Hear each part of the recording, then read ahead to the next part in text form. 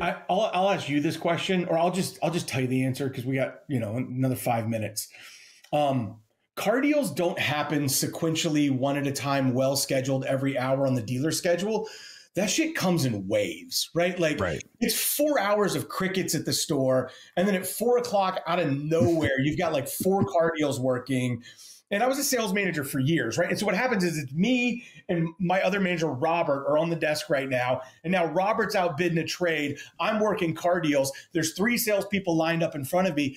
If you're the fourth salesperson to show up with your customer from the test drive and to walk over to your desk and to come to the tower to get a payment, how long does it take that fourth salesperson to get a payment?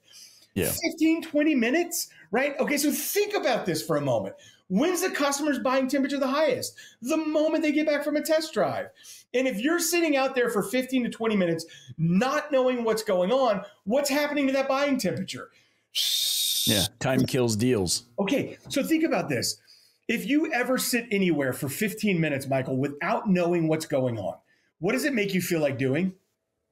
Leaving. Okay.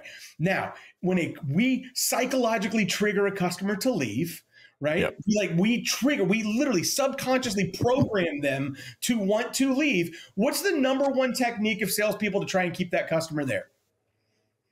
Give away gross. Okay, so sure. what's it to take? Okay, if I can maybe save you some more money. Hey, if I get you another five hundred thousand right. on trade, we literally go into like desperation mode. So what we're doing is subconsciously triggering this customer to want to leave, and then we're sending salespeople out who's literally trying to figure out what it's going to take to keep them there, and that's the first interaction.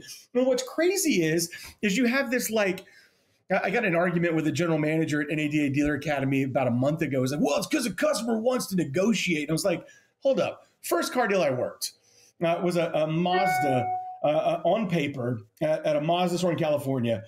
And I take out the numbers. Salesperson's working the deal. She's freaking out. Hey, will you will you present the numbers to my customer? Yeah, I got you, bro.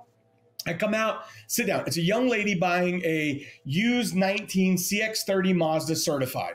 I sit down, I go over the numbers. With 10% down at 60 months, here's your payment. If that looks good to you, go ahead and sign here and we'll start the process, right? She goes, Oh, well, I wanted to put five grand down. I go, Okay, hang on. I get up and I walk back over. Sales manager I was working with, nowhere to be found, out walking the lot somewhere. Other sure. sales manager sitting there. Hey, the Jones, though, she wants to know what it is with five grand out. Who? Jones. It's in the system. Okay, has to find the right tab right, has to go in, she put the five grand down, prints it out, hands it to me. I walk the like 25 yards back to the customer. I sit down, I go over the info, and she goes, Oh, well, on my last one, I went 72 months. What would it be at 72 months? Hang on. I get up. I walk back over there. Now that manager's gone. Now Gabby's at the desk. I sit down with Gabby. I'm like, hey, I need you to hook me up with a, this is 72 months. Let's go right? GM walks up at that time. Now they're talking to each other. I'm not getting any attention. I'm like, hey, I got a car deal. I got a car deal. And then by the time I get back out there, her uncle showed up, who's now the third baseman, who's going, hey, I leased a new one for your niece a few months ago. It was a less payment than this. Why don't you look at leasing a new one? Okay, all of that is the like start and stop, start and stop. And what's wild to me is that dealer had a digital retail tool on their website where a customer could have immediately answered all that information. And what you see is when you use our in store solution and you turn the screen to the customer and you go, okay, let's build your deal together, they take ownership of the deal. And then they go, okay, well, what would it be with five grand down? Okay, what would it be seven? And they just click through it and right. it leads them deeper and deeper into the process. And uh, I know because I just bought a car through it like you did. I leased a uh, a, a, Kia EV9 from Ferguson Kia here in Tulsa, Oklahoma. They're an AutoFi dealer. I show up at Ferguson. They literally told me because I train on like, hey, just go sit down and build your deal. I sit down at one of the computers there. I log in, right? I build my deal in AutoFi, and I did something that I have told I would have told you not to do.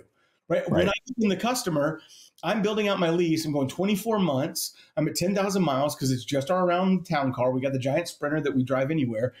And I put I put $1,300 down. I've told everyone in the world, don't ever, why would you put money down on a lease? That's so stupid. Why would you?